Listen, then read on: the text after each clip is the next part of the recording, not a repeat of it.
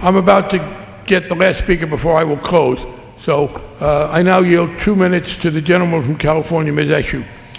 The gentlelady from California is recognized for two minutes. Thank you, uh, Mr. Chairman. I rise to engage in a colloquy with the chairman of the Financial Services Committee, uh, Mr. Frank.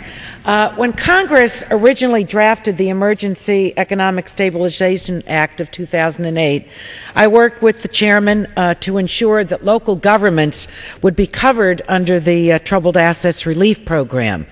Uh, and the reason that we needed to do this was that there were so many that had invested in very um, uh, conservative instruments uh, in Lehman Brothers.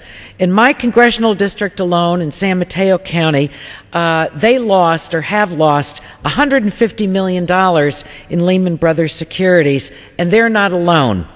At least 19 California cities and counties, the Commonwealth of Massachusetts, uh, as well as hundreds of other local governments across the country have incurred losses like this. The losses have resulted in teachers being laid off, the termination of ongoing construction projects, and the reduction of so many of the critical services that our constituents rely on every day. My uh, intention today is to confirm authority granted to the Treasury Secretary in the um, Emergency Stabilization Act of 2008 and the urgency for the future Secretary of the Treasury to use it effectively. Uh, so, to the chairman, does the Treasury Secretary have the authority under TARP to purchase troubled assets by local governments?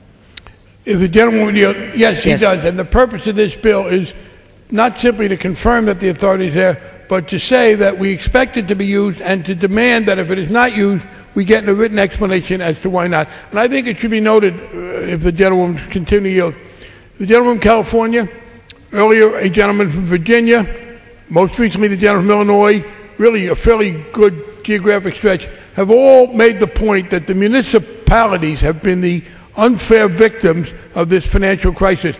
And uh, we do some things to help that in this particular legislation. We will be doing more, and I thank all three of them and many others who have brought this to our attention. Fired. Thank you. The gentleman from Alabama is recognized. Thank you, Mr. Chairman. I yield myself such time as I may consume.